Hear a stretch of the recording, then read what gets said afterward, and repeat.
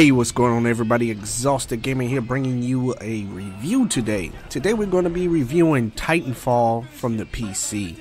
Um, I've recently played Titanfall for the PC as well as the Xbox One, and I'm here to share my opinion, my overview, my overview, and my insight on the game. Um, I got it last week, as you as you can see. Check my channel. I did the uh, collector's edition un unboxing. Well, about a week and a half ago, whatever it was, on the 11th. And I did the unboxing for the collector's edition on PC. Um, I've recently acquired a Xbox One, and I've been using it thanks to one of my friends, and I've played it on the Xbox 360 as well. So I'm here to give you my my opinion on both as I see it. Um, we start off with this game. This game is basically the uprising of the new development group Respawn Entertainment. They're from the you know a couple members from the um, Call of Duty 2 series, I think it is. That basically was one of the best Call of Duty 2 Call of Duty games created for you know basically platforms in general, including PC. Um, these guys have done it again. I'm I'm here to say that I'm happy with the balance in the game, and um, Titanfall actually gives me as a gamer a breath of fresh air when it comes to gameplay variety, and and it's able to give you a a sense of creativity, so to speak. So you, it's not a linear format. You're just running around and stuff like that. You can run up the walls. You can hang off the walls. You know, you can be on the rooftops. You can be run on the ground. You know, it's so many ways to play this game and come up with with your own play style, and that includes you loading up. You know, having your weapon set up as well. So whatever suits your playstyle, you're pretty much able to set it up with your pilot, including your Titan as well. So as we look here, as I play this game right here, you know, I'm, I'm, I've, I try to vary my gameplay from the rooftop to the ground. You know, try to try not to be, you know, predictable in a sense, because you see a lot of players that you know are predictable, and you can always pick up and find where they are. Um, this game right here, this gameplay right here is coming from the PC. I'm running it on max settings, and um, I'm run I'm using I'm actually using a controller and I've actually been happy with using a controller. I've played with the keyboard and mouse as well. It's been fun, but uh, with the controller it's kind of it's an easy conversion between the controller from PC to the Xbox One with no problem since I've been playing both. And um, the graphics on the PC are as you would expect, they're superior of the uh, no, I'm, I'm sorry if I said 360. They're superior of the Xbox One you know, in in all means, and and of course when it comes to the graphics and the gameplay and everything like that, you will see you will see that the servers are a little more stable on PC, probably more so because that they don't have as many players on the PC servers as the Xbox One servers. But you know, you know, it's to each his own, but I, I, I really found this game very enjoyable. The storyline really didn't catch me, you know. You kind of catch yourself listening to it in and out of the storyline. It's just a multiplayer game with with with with some commentary if you ask me you know but you know it, it serves its purpose it, they give you a reason to play it because you have to unlock the Stryder titan and you have to unlock the um uh, it, the ogre titan as well. So you know that that you know gives you you know give you give, gives you an incentive to play the play the um, play the campaign twice you know so to speak so you can unlock those two titans. But after you play the campaign twice and you unlock those two titans you really don't have a reason to go back to the campaign again unless you're just running around playing with a friend and helping them through the campaign but there's it's pretty much a single player gameplay it's just pretty much a multiplayer game with single player narrative over it. But um, uh, as I played the Xbox One, I noticed you know the just the graphical difference. As you all know, the Xbox One version is running at 792p. Um, you do see some jaggies in there, and you do see, you know, it's just, you know, you can tell that it's, you know, it's it's a next generation game about for all intents and purposes, but you can definitely see the graphical difference between the PC and the Xbox One. So um, the one thing I do not like about the PC is that you have to hold down Z to um, communicate with players and stuff like that, and it, it's very, very inconvenient.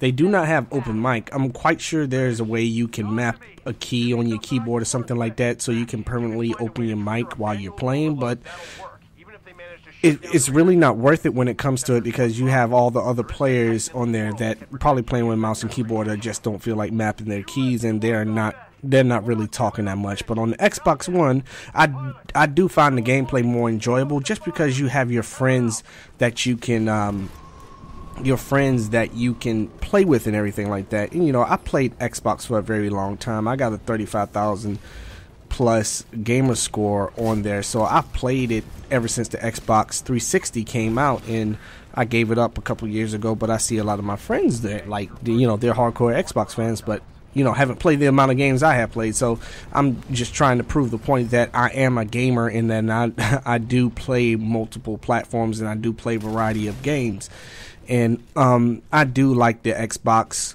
One experience better than the PC when it comes to playing multiplayer with your friends and everything like that.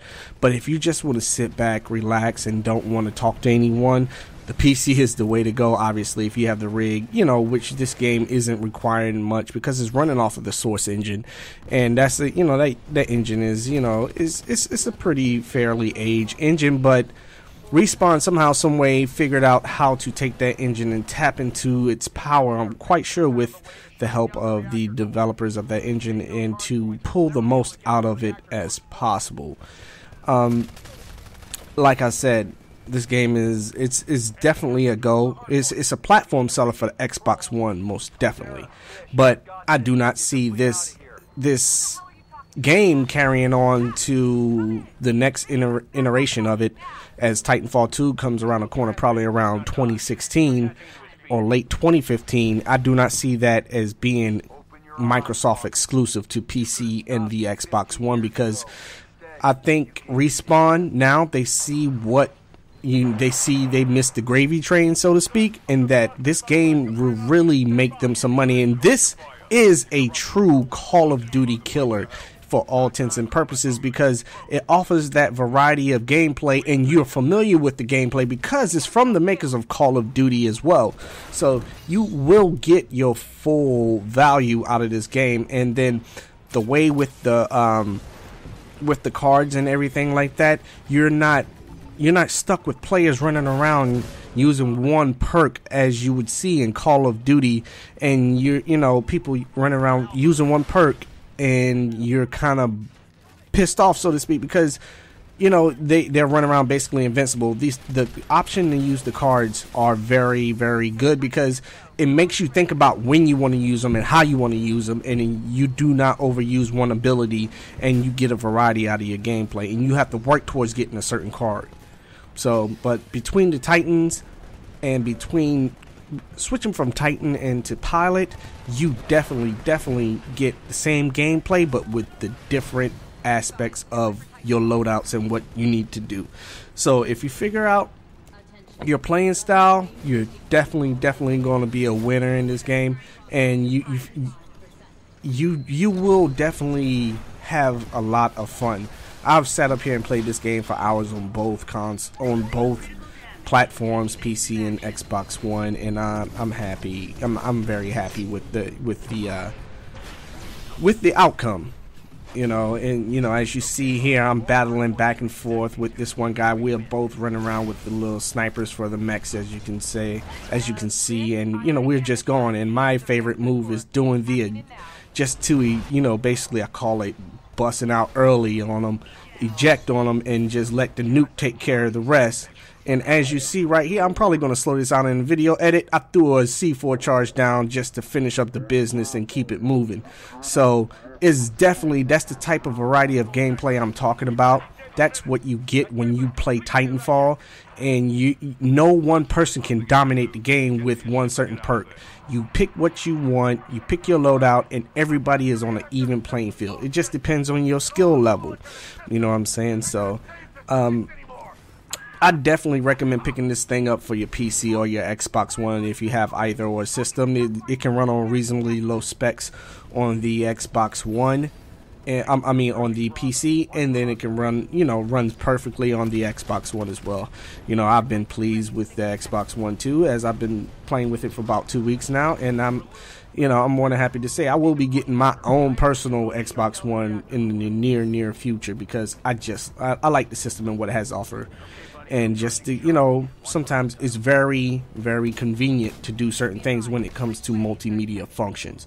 But you know expect this game to be on PS4 all platforms next year uh, you know well in, with the next iteration and probably within 2016 and everybody across the gaming universe will be able to enjoy this game. So big shouts out to Respawn Entertainment for giving us a breath of fresh air in the gaming community and giving us something to talk about, troll about, whatever your flavor of, you know, commentary you like to put out there. And um, I'll catch you on the battlefield. My gamer tag on Origin on the PC is going to be Exhausted 1918. That's with an X. And Exhausted uh, is going to be Exhausted on the um, Xbox One as well. So I'll link all that stuff in the description below, and maybe you guys can hit me up and just, you know, we can play a couple games on Titanfall on either platform and let me know what you think. So I hope you enjoyed the gameplay. I hope you enjoyed the review. Let me know what your thoughts are on the game as well. Exhausted Gamer here, repping the Couch Jockeyz. Y'all take care. Peace.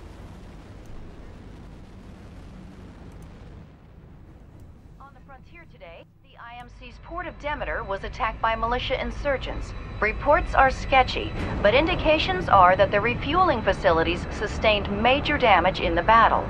Numerous casualties are indicated, including the mutineer James MacAllan, formerly believed missing in action. High command in the IMC... Adios, my friend. The whereabouts of several high-ranking officers involved in the conflict, including Vice Admiral Marcus Graves, is presently unknown. Ah!